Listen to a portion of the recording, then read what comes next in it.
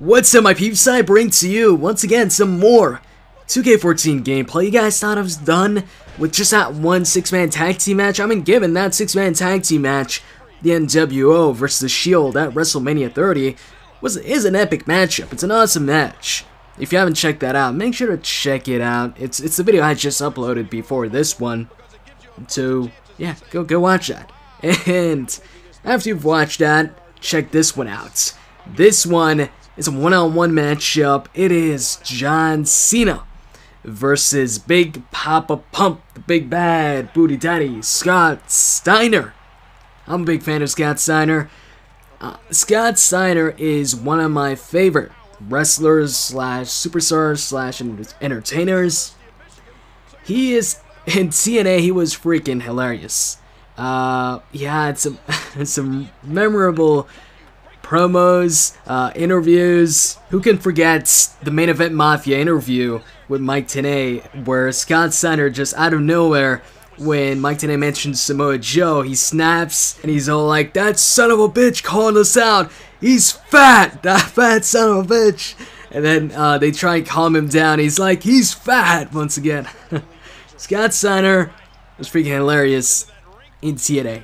I, Steiner's just freaking awesome in general. Um, He's a suplexing machine, and he's funny too.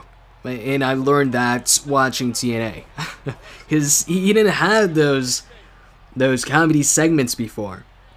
When when he came in the uh, in the WWE, it wasn't like a comedy. I mean, he wasn't a comedy character in TNA, but he has some really funny interviews. By the way, check this out: Exploder suplex on John Cena through the announcer's table. By the way, this is in the Extreme Rules Arena, and this is an Extreme Rules matchup. How could I forget to mention that? You guys probably saw me use weapons. Uh, did I use a weapon yet? I don't think I did. I think I just grabbed the, those steel steps, and John Cena grabbed them from me. And then he hits me with the steel steps. Same steel steps I grabbed. And right now I'm like backing up. I'm like, alright, alright, let me pick one up too. And then bam, once again, he doesn't, Cena does not want Steiner to pick up the steel steps because he knows Big Poppa Pump the man with the largest arms in the world would destroy John Cena with the steel steps if he gets his hands on him. And I was real happy when I found out that Scott Steiner was going to be DLC for 2K14. The only thing that would make it better if it was if he had like an alternate attire maybe his WWE attire with his Holla if you hear me theme song that would have been awesome that would have been cool uh, but th this is the NWO Scott Steiner Nonetheless, though, it is Scott Steiner, so so it's it's cool. You know. It, oh, by the way, check this out. Uh, I don't know if this is a glitch or not, but hey, it, it looks pretty cool. John Cena on the steel steps. It's kind of sad. It's not even a glitch. Nah, it's not a glitch.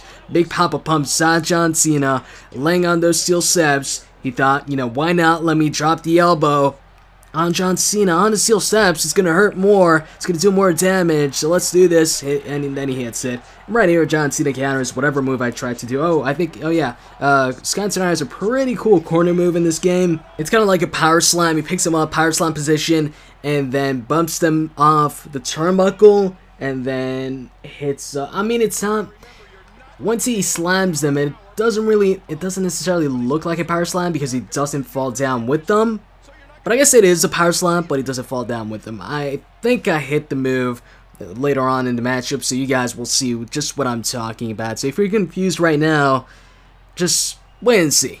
And right here, I'm just grabbing weapons left and right, steel chairs, tables. I've already got a game plan. I know what I want to do. I make sure these matches are entertaining. So I have like these these spots in the matchup in mind. I'm like, all right, I need to do this, I need to do this with this chair, uh, use this table for this, and uh, unless I do that, then I'm not happy with the video, I'm not happy with the gameplay. Because I played this match a few times, and it just didn't turn out as, like, as well as I wanted it to, to turn out. It, uh, I didn't get to hit, you know, certain moves in time, and by the way, check this out. This is one of the moves. I just had to hit it. I was like, you know what? Scott Steiner returns, and he targets John Cena, and he faces off against John Cena. Once he gets his hands on Cena, he's going to be vicious. He's going to destroy John Cena. Look at this. Giving John Cena a concussion.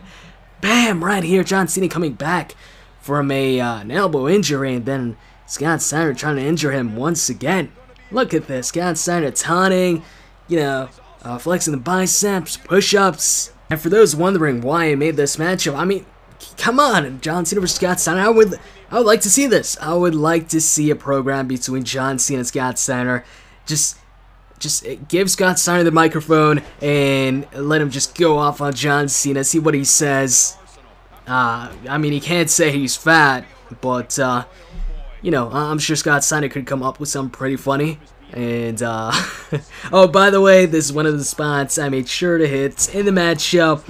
A Steiner screwdriver onto the steel steps.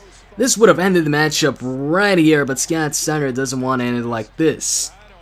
I mean, yeah, he locks on the Steiner recliner, but no, it, this is just to, you know, make John Cena suffer a bit more, you know, uh, work on his back, but John Cena, it looks like John Cena is actually getting a second win here. He's picking up some momentum and he gets out of it.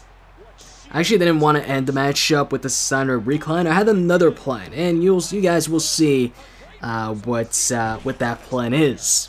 I'm not actually gonna finish the matchup with the finisher. This isn't something that happens too often. I usually end the matchup with a finisher, but here I thought of something. I was like, you know what? That would be a more appropriate or more. It would be a better and a cooler ending to the matchup. And, and let's face it, really.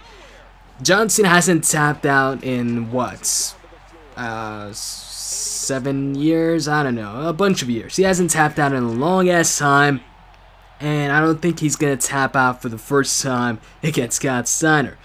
Keep in mind, I also aim to keep my videos as realistic as possible. So making Cena tap out to the Steiner recliner wasn't really an option and you guys can kind of figure out what, what I'm trying to do because as you can see well actually you can't see right here because right here I use the steel chair but I'm trying to get the table. I'm trying to set up the table because I'm ending this matchup in an epic way in an epic fashion.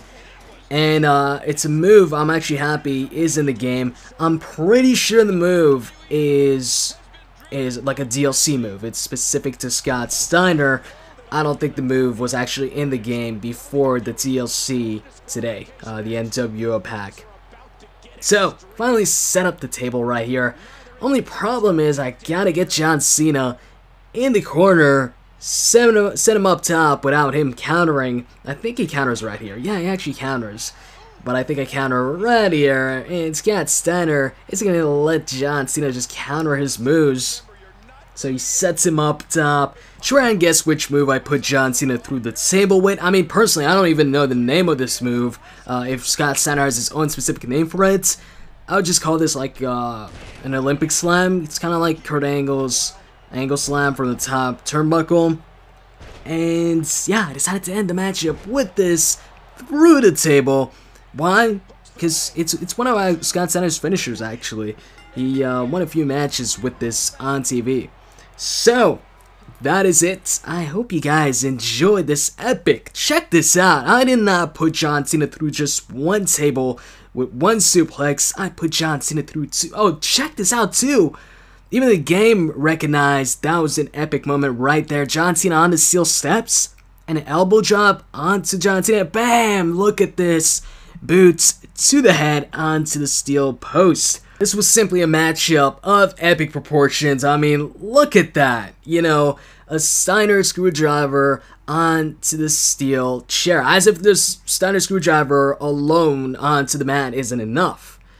And Scott Steiner victorious by pinning John Cena. Had a lot of fun playing this match, and you guys can expect some more 2K14 gameplay videos involving the new uh, DLC characters from the NWO pack, which just released today. So, that is pretty much it. As always, if you enjoyed the video, you can click that like button down below. I'd really appreciate it. Really helps me out. With that said, I'm out, guys. See ya.